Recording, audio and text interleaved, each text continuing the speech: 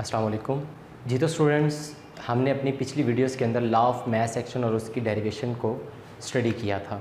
आज हम उस डेरिवेशन से रिलेटेड अपनी कुछ एग्जांपल्स को लिखते हैं यहाँ पर। एग्जांपल्स करते हैं हम उस डेरिवेशन से रिलेटेड तो टेंथ क्लास हमारी ये केमिस्ट्री का जो है लेक्चर है। और चैप्टर जो है हमारा, वो फ़र्स्ट चैप्टर है equilibrium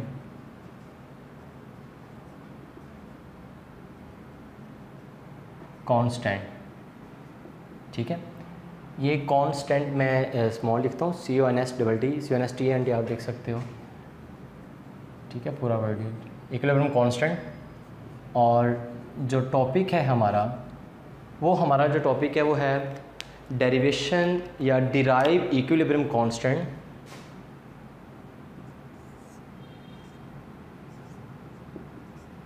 derive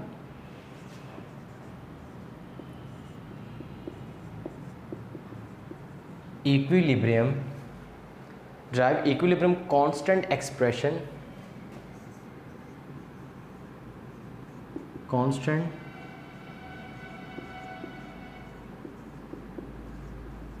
derive equilibrium constant expression for the following reactions हम कुछ रिएक्शंस देखते हैं।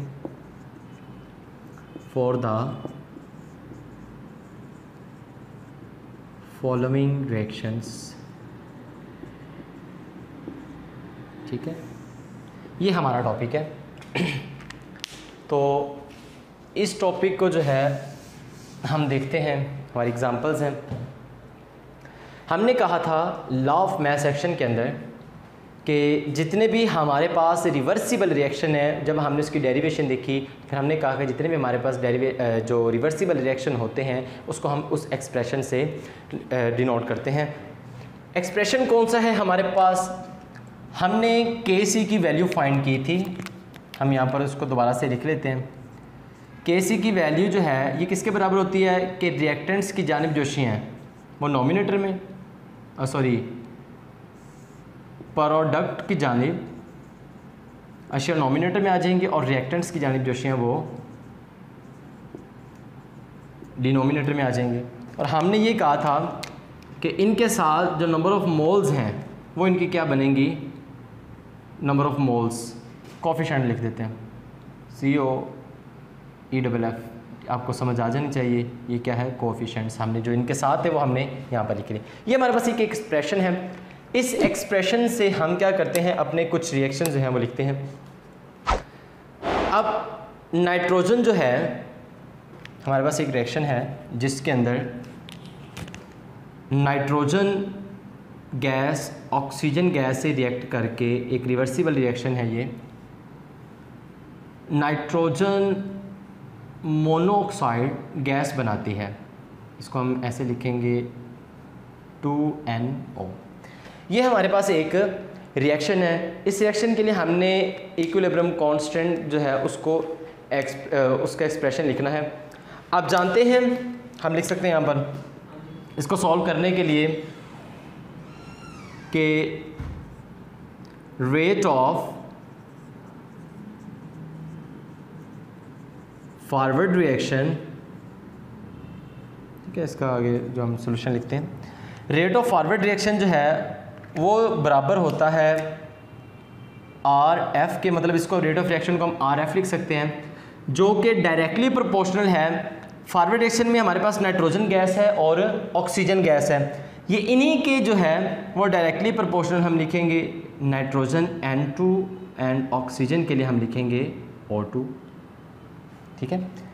अब rate of forward action proportionality का साइन ख़त्म, के हमारे पास कांस्टेंट है, जो कि फॉरवर्ड है द स्मॉल एप लगा देंगे, हमारे पास आ जाएगा N two and O two ठीक होगी बात?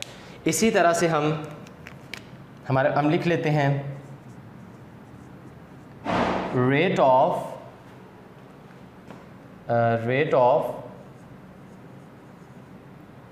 reverse reaction ठीक है?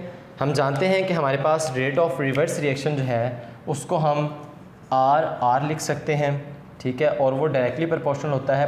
प्रोडक्ट जो है, ये चूँकि रिवर्स हो रहा है तो रिवर्स में हमारे पास क्या है? ये हमारे पास, इसको हम लिखेंगे एन ओ और इसके साथ जो इसके कॉफिशेंट है नंबर ऑफ़ मोल इसकी क्या बन जाएँगी? पावर्स बन जाएँगी। ठीक है? इसी को हम रेट ऑफ़ रिवर्स रिएक्शन है। R R is equal to proportionality का साइन ख़त्म के कांस्टेंट चूँकि रिवर्स हो रहा है तो आर यहाँ आ जाएगा नाइट्रोजन मोनोक्साइड ये इसके ऊपर हम ऐसे ये टू लगा देंगे। ठीक है? ये हमारे पास फॉरवर्ड रिएक्शन है, ये वाला, और ये हमारे पास क्या हो रहा है? रिवर्स रिएक्शन वो हमने इसको ऐसे लिख लिया। अब हम जानते हैं कि the rate of forward is equal to the rate of reverse reaction the rate of forward and the rate of reverse reaction हम लिख लेते हैं यहाँ पर R F is equal to R R R F जो है, वो बराबर है हमारे पास के एफ़ एन टू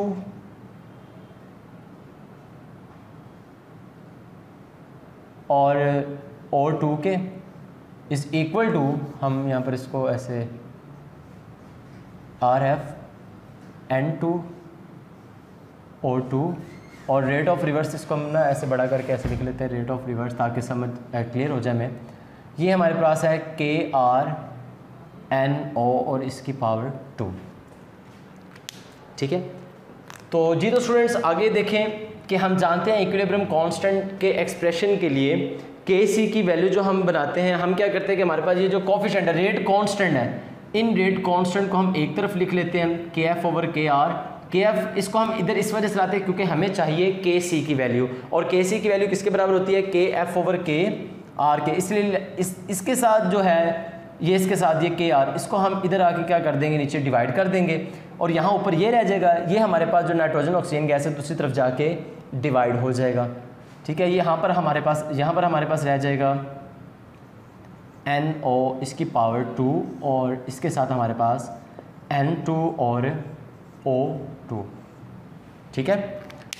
तो स्टूडेंट्स यहाँ पर आप देखें कि ये जो हमारे पास K F over K R ये हमारे पास के सी है तो के सी के लिए हमारे पास क्या आ जाएगा? एन ओ इसकी पावर टू और N two and O two ठीक है? ये हमारे पास इक्विलिब्रियम कांस्टेंट के लिए एक एक्सप्रेशन आ जाता है। तो आप देखें कि जो प्रोडक्ट की जानब अशिया हैं, उनको हमने नोमिनेटर में लिखा, जो रिएक्टेंट्स की जानब अशिया हैं, उसको हमने डिनोमिनेटर में लिखा। ठीक है, इसी तरह से मैंने यहाँ पर ये लिखा। और इसके साथ जो कॉफिशेंट्स हैं नाइट्रोजन मोनोसाइड से टू मालिक्यूल से, इसको हमने इसकी क्या लिख दिया?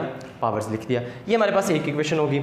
इसी तरह से हम अपनी अगली इक्वेशन लिखते हैं कि अमोनिया बनने की जो इक्वेशन है उसको हम कुछ इस तरह से लिख लेते हैं। यहाँ पर मैं एक लाइन लगा देता हूँ ताकि मिक्स ना हो जाए हमारा। समझने में आसानी हो, ठीक है? एक वॉल्यूम नाइट्रोजन का जब तीन वॉल्यूम हाइड्रोजन के साथ मिलता है तो हमारे पास ये अमोनिया गैस 2NH3 ये गैस बनती है, ठीक है? सेम एक्सप्रेशन के स्टूडेंट्स आपने सबसे पहले हम इसको यहाँ पर सॉल्व करते हैं क्वेश्चन है हमारे पास। हमने क्या करना है? Rate of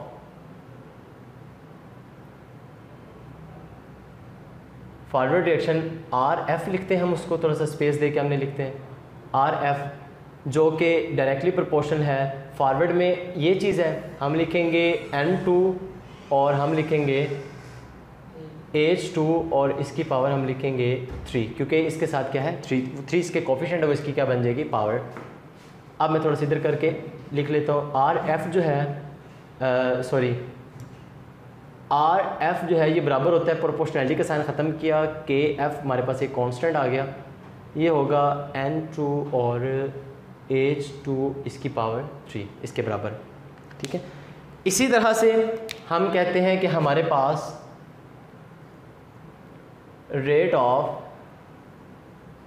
रिवर्स रिएक्शन है। आर आर डायरेक्टली प्रोपोर्शनल है ये एन एच थ्री और इसकी जो है पावर वो है से हम टू लिख ले देंगे।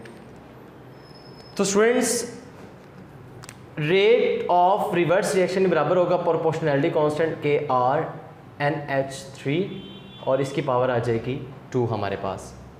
सेम केस जिस तरह हमने अपनी पिछली इक्वेशन के अंदर लिखा कि हम हम जानते हैं कि रेट ऑफ़ फॉरवर्ड रिएक्शन जो है ये बराबर होता है रेट ऑफ़ रिवर्स रिएक्शन के तो इसकी जगह इसकी हम वैल्यू लिखेंगे के एफ़ ये हमारे पास वैल्यू क्या है? ये हमारे पास है जो रिएक्टेंट्स की जानी बची हैं एन टू और एच टू इसकी power three is equal to reactants की जानब हम लिखेंगे क्योंकि रिवर्स हो रहा है तो K R N H three और इसकी हम क्या लिख देंगे? यहाँ पर स्केयर लिख देंगे। अब हम जानते हैं कि जो हमारे पास रेट कांस्टेंट है, वो एक तरफ़ आ जाएँगे वेरिएबल्स एक तरफ़ आ जाएँगे हमारे पास। K F over K R is equal to यहाँ हमारे पास N H three as it is रहेगा, क्योंकि ये प्रोडक्ट की जानब अशिया थी और हम जानते हैं कि प्रोडक्ट की जानब जो अशिया होंगी, उसे हम कहाँ लिखेंगे? नॉमिनेटर में, और जो रिएक्टेंट्स की जानब अशिया होंगी, उन्हें हम डिनोमिनेटर में लिखेंगे। तो यहाँ पे आप देख लें कि ये इस तरफ़ आके क्या हो जाएगा? डिवाइड हो जाएगा, और इसकी जानब जो चीज़ें हैं, ये इधर आके क्या हो जाएँगी? यहाँ इधर डिवाइड हो जाएँगी। क्योंकि यहाँ इसके साथ मल्टीप्लाई हो रही है। तो यहाँ आ जाएगा हमारे पास एन टू और एच टू इसके साथ इसकी हम लिखेंगे क्यूब इसके साथ हमारे यहाँ पर स्केयर तो ये जो एक्सप्रेशन है, ये हमारे पास किसके बराबर होता है? के एफ़ ओवर के आर ये हम जानते हैं कि हमारे पास ये बराबर होगा के सी के और ये हम क्या लिख लेंगे? एन एच थ्री और नीचे हमारे पास आ जाएगा N two and H two और इसकी पावर हम लिख लेंगे थ्री। और ये एन एच थ्री किसके ऊपर क्या आ जाएगा, टू आ जाएगा। तो ये हमारे पास क्या है? कुछ हमने इक्विलिब्रियम कांस्टेंट के लिए कुछ हमारे पास रिएक्शंस थे, जिसके लिए हमने इसके इक्विलिब्रियम कांस्टेंट को डिराइव किया। ठीक है? ये रिएक्शन जो हैं इक्विलिब्रियम कांस्टेंट को हमने इससे डिराइव किया। तो इसके बाद स्टूडेंट्स हमारे पास जो हमारा नेक्स्ट टॉपिक है वो हम फ़िलहाल हम इसको यहाँ तक रहने देते हैं। हमारा जो नेक्स्ट टॉपिक है, वो हम इंशाल्लाह अपनी नेक्स्ट वीडियो के अंदर डिस्कस करते हैं। अपना ख्याल रखिएगा। अल्लाह हाफिज़।